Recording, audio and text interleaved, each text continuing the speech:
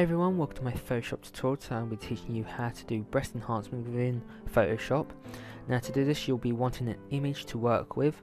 Now you use one of your own or if you're just training for this technique you can go onto Google Images or Photo Exchange website where I found this one and I'll give you a link to this image also. Now once you've downloaded it and you've put into Photoshop, now if you are brand new to Photoshop and you don't know how to put images in, you can go to File and Open and then select your image wherever you saved it. Now once you have it into Photoshop, we're going to start work. Now we're going to double click that layer uh, picture and we're going to go OK just to take the padlock off and to make it an active layer. Now I'm going to duplicate this just to show you before and after effects which you don't have to do but you might want to do it just in case you make a mistake. Now make sure you've got the top layer selected. Then we're going to go to filter, we're going to go to liquify. Now this tool here is very very good, I use this tool a lot. Now you want to go and select the bloat tool which is the little circle with the four arrows uh, on four sides of it. Now we're going to zoom in like that and you want to put your brush up just so it covers the area. And we're just going to bloat where it needs to be. Now you want to go very slowly just in case you make any mistakes. Like that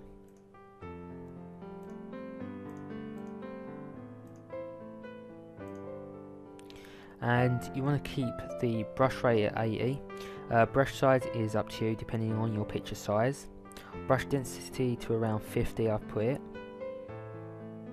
Now I'm just going to do this very very quickly so I'm not going to pay too much attention on what I'm doing um, but you're going to have a lot more time on your hands to do this. Then I'm going to bring down the brush size and just going to fill inside the bra uh, up a bit like that.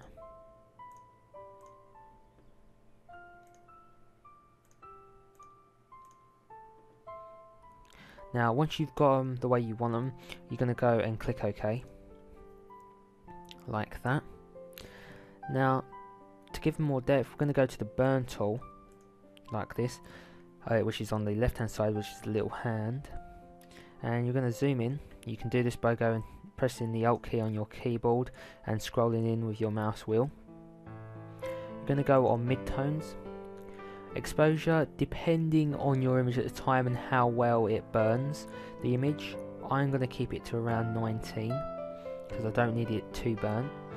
And we're just going to burn the outline like this.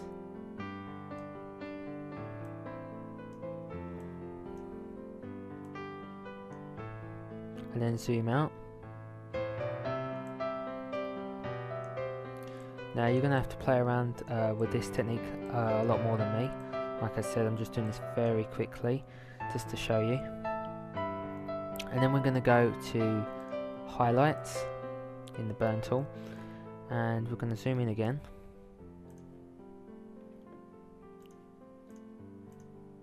Like that.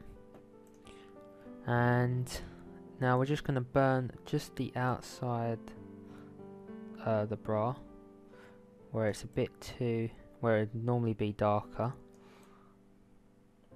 Like so. Just take your time on this bit. Keeping the exposure to 19 or whatever you want. Like that. Now if something goes wrong and say the arm's bent a bit here you can go to the history brush which is on the left hand side. Art history brush tool or the history brush.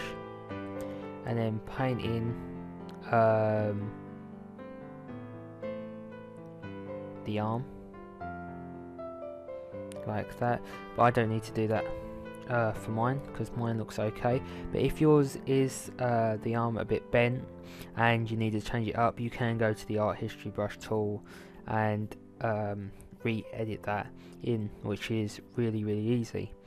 So that's the tutorial. Um, I hope you liked it. Uh, this is the before and after so after and before. Like that and yeah so I hope you liked the tutorial. Please uh, play around with the effects I just showed you and make them your own. And uh, I'll see you next time. Bye for now